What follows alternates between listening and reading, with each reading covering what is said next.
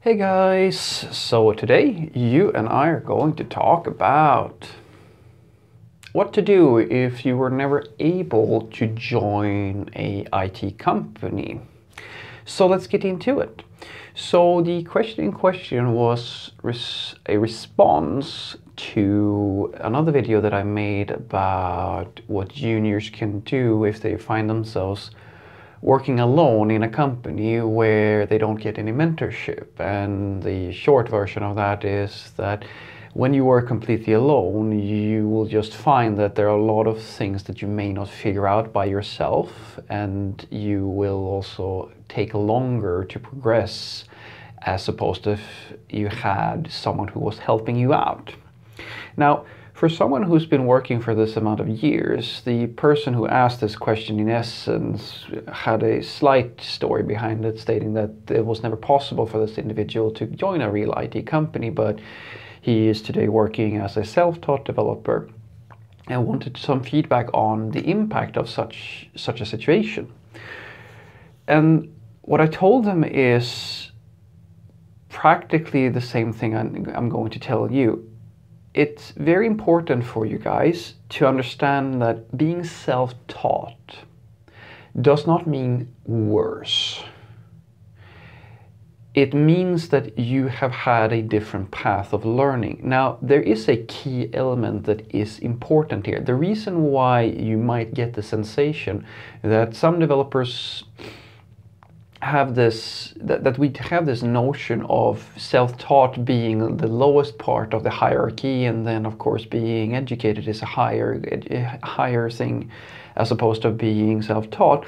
It, the reason why this is guys is because what your ultimate goal is is to try to align your way of working and your way of thinking as closely as possible to the norm of the industry. And this is a very subjective and fluffy thing, but I'll try to walk you through it as best as I can. You can imagine that if you play a sport, whatever you, whichever sport you play, now there are certain rules for how to play that sport, and if you don't follow those rules, you're not going to be able to play effectively. You're going to break the rules, so you're going to be disqualified or so forth. In software development, there are virtually no strict rules, at the very least, of how to do things properly, but there are many best practices and there are many standard procedures for how to do something.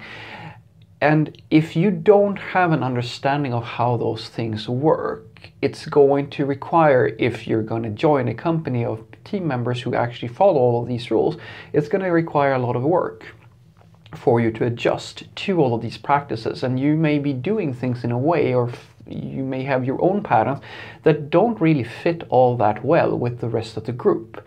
And that's where a self-taught developer runs the biggest risk because if you work in complete isolation and you don't have any peers, it's very hard for you to figure out if you're working in a fashion that may be genius to you but may not be so genius to somebody else.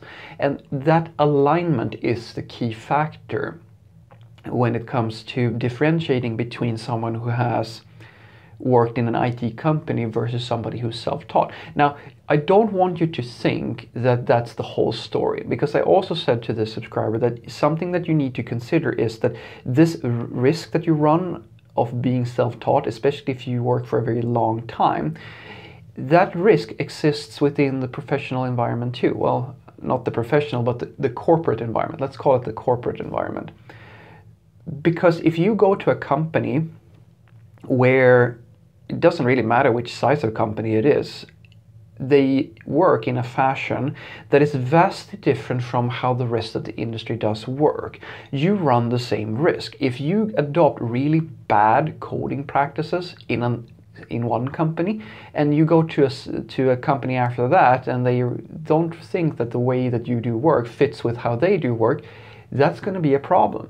They might invest in you still if you're able to sell the idea that you can adjust, but this is one of the major reasons as to why some developers don't get into a company and some developers call, get fired from a company because there's some churn like they are doing things in a way that doesn't really fit with everybody else especially if they have a lot of strong opinions about that work. And that's a whole different topic where you have philosopher developers who are who are doing the reverse and this is what's interesting because you can get into this problem with not being able to align with the community or the region that you find yourself in from the perspective of being bad, of doing things in a weird way that nobody really gets apart from you. But you can do that from the master level as well, or from the prestigious level. Let's call it that.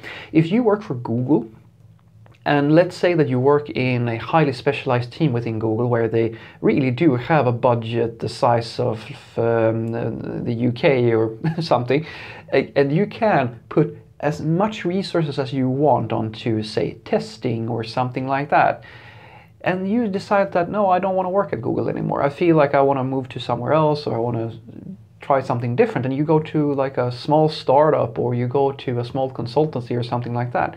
If you are if you are unable to understand that what works for a multi-billion dollar company may not work for a company that has maybe five or five to 50 or 100 people, they, these are, it's different. There's different environments. And this is one of the biggest insights and I know that it seems trivial and easy, perhaps, to you when I say it out loud like this, but to really grasp this is the biggest difference between a senior level developer and everybody else. To understand that the context of where you find yourself and the problem that you are solving is the thing that dictates what a good solution looks like. Because a master level programmer will understand that even if you have a solution that is absolutely perfect for Google, it may not be perfect for this little company who has like five, five users. Because the investment into this solution is not in, stand, doesn't stand in proportion to the output of the solution. So what I want you to take away from this is that this notion that there's a that there's something bad with being self-taught isn't really true. There is a risk with it, and that is if you work alone for long enough, the odds of you being aligned with everybody else, it's it goes down. And that's something that's very it's really only important, guys, if you if you want to work in a company or if you want to work as part of a team, that's where the alignment comes. But if you are a self-employed software developer who just works on your own projects and sells them to customers who never really need to maintain them in any or anything like that, then you can continue forever like you are. There's no there are no rules for how you should write software apart from the community rules. And that's the whole key here. Are you going to be in the community or you're not going to be in the community? If you want to be in the community, you need to understand how the community likes to do work. And this is the key thing. It doesn't matter if you are worse or you're better than the community because either extreme is going to be viewed as a problem depending on how you play your cards.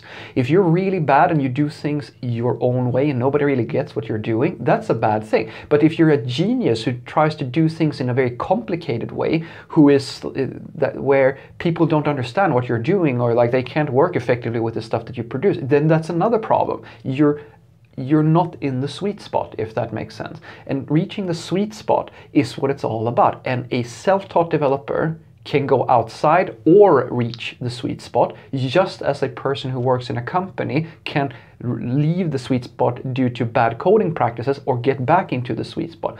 It doesn't really matter how you do work, it's all about understanding your environment. And fundamentally, my favorite saying is understand the problem that you are dealing with. If you can do that, it really doesn't matter all that much how you manage your career. Have a great day.